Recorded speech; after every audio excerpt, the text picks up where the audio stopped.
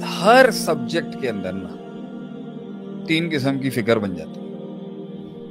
हर subject में तीन किस्म के हर मौजू में हर फैकल्टी में हर कुलिये में तीन किस्म के लोग आते हैं। तीन किस्म की नफ्सियात और मिजाज एक मुतशद होते हैं जो इतना तशद अपनाते हैं अपने मौकफ के अंदर के उनके न, वो एब्सोलूट वो एब्सोलूट मुतशद होते हैं। एक वो होते हैं जो एब्सोलूट मुतसाहिल हो जाते हैं। हर चीज़ में उन्होंने जो है ना आसानी और नरमी के नाम के ऊपर कॉम्प्रोमाइज कर और एक मुतवसत होते हैं। तो मुतसाहिल मुतशद मुतवसत मुतवसत मुतवसत तबका वो होता है जो वस्ती होता है, जो बीच का होता है। ये बड़े मसाइल हैं ज़िंदगी के अंदर भाई के बीवी और माँ के झगड़े में कैसे फैसला करें?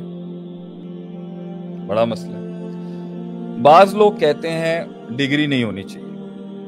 बाज कहते हैं डिग्री ही होनी चाहिए, इसके बगैर काबिलियत ही नहीं है बात करने इफरात तफरी बाज लोग कहते, ये कहते ना, इनमें डिसाइड करो। मैं मतलब इल्म भी ज़रूरी है, तजर्बा भी ज़रूरी है। तजर्बा बगैर इल्म के पेश किया जाएगा तो बहुत ही अजीब बदतहजीब लगेगा और इल्म बगैर तजर्बे के पेश किया जाएगा तो वो बहुत नॉन अनप्रोफेशनल लगेगा वहाँ पर तो पता चल रहा होगा कि कागज़ी बातें इसका हकीकत से कोई लेना देना नहीं। ये अफरात तफरीद खड़ी होती है। जो लोग कैपिटलिज्म का रद्द करने जाते हैं, वो कम्युनिस्ट बन जाते हैं।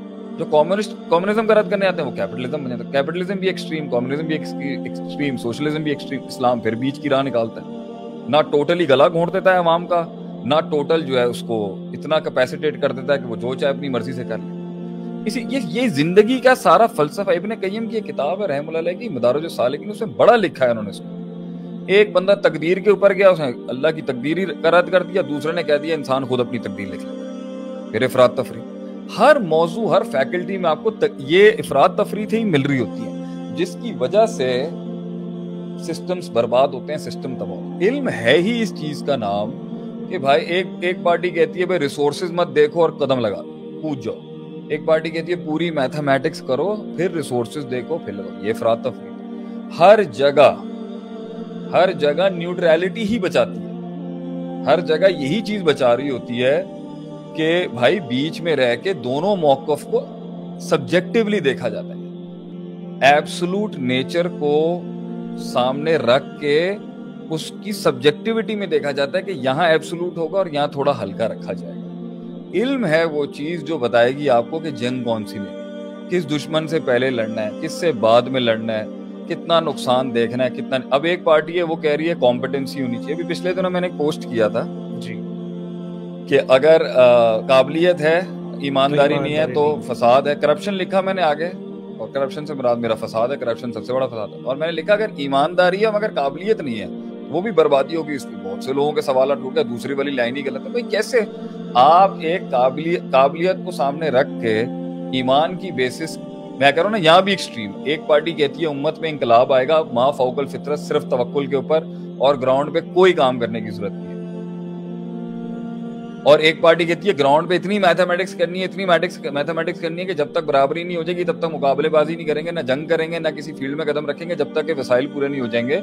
इसलिए वो कहते हैं तवक्ल भाड़ में जाए। एक्सट्रीम्स हर एक पार्टी कहती है साइंस की कोई औकात ही नहीं एक पार्टी कहती है, भाई तिब में ही बैठे रहो। वो तिब में है एलोपैथी तो ये हर जगह, हर, कुल्लु हिजबिन बेमा लदेहिम फरी इस सबसे निकलने के लिए आप ने क्या हल दिया था?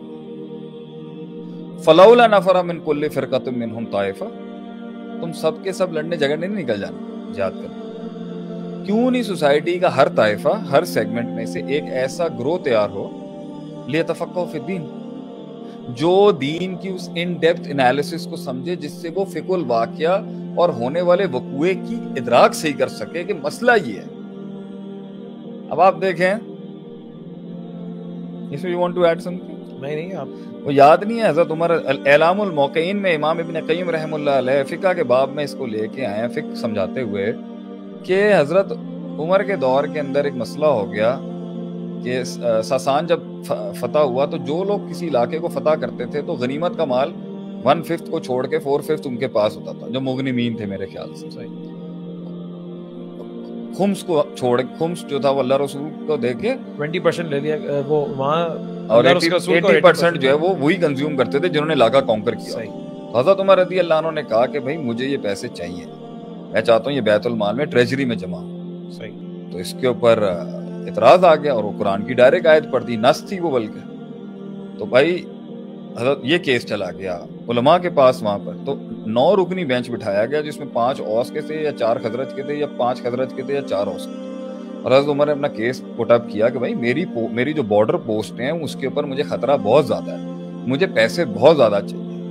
और ये कुरान का डायरेक्ट ऑर्डर आया हुआ है कि जो भी किसी इलाके को फतह करता है, वहाँ गनीमत का माल जो है, वो पहले वही उनका हक है वन फिफ्थ ट्रेजरी में चला जाएगा अल्लाह रसूल के नाम मैं तो चाहता हूँ कि मुझे सारा मिले क्योंकि मेरी पोस्टों पे बॉर्डर पोस्ट पे बहुत खतरा है। इधर उन्होंने कहा ना कि आप इस जुजवी मसले को किसी कुल्ली कायदा भी आपके पास है तो पेश करें कोई।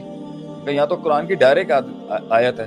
एक स्पेसिफिक मसले के अंदर एक मैक्रो प्रिंसिपल ला के आम को खास खास को आम इंडेफिनेट को डेफिनेट डेफिनेट को इंडेफिनेट करना, ये ये इल्म इस्तेमाल हुए उस दौर के मसाइल को सॉल्व करने के लिए, ये दीन और शरीयत पढ़े बगैर तो आ नहीं सकते। यहाँ तो हर बंदा ही जो है वो अपने आप को लामा बनाए बैठा हुआ है कि जी उसके पास इल्म के सारे फुरकान है, सारी डायमेंशन हैं, सारी डायनामिक्स हैं, और बाद डायनामिक्स की बात है अल्लाह की मुराद की।